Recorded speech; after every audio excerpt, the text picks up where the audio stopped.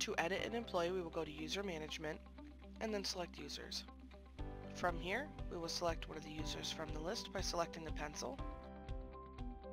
Once on the screen, we can make any of the necessary changes that we would like, whether it be turning off clock in required, removing a job title, or adding a different job title. Once you are finished with your changes, you can select Update and Next.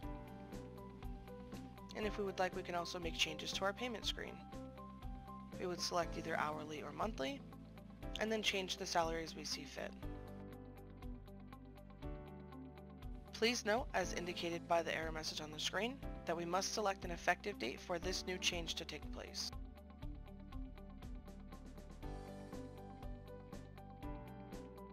Once you have finalized your date and your new payroll, you can select Save. Finally, you'll select Publish your changes to the POS.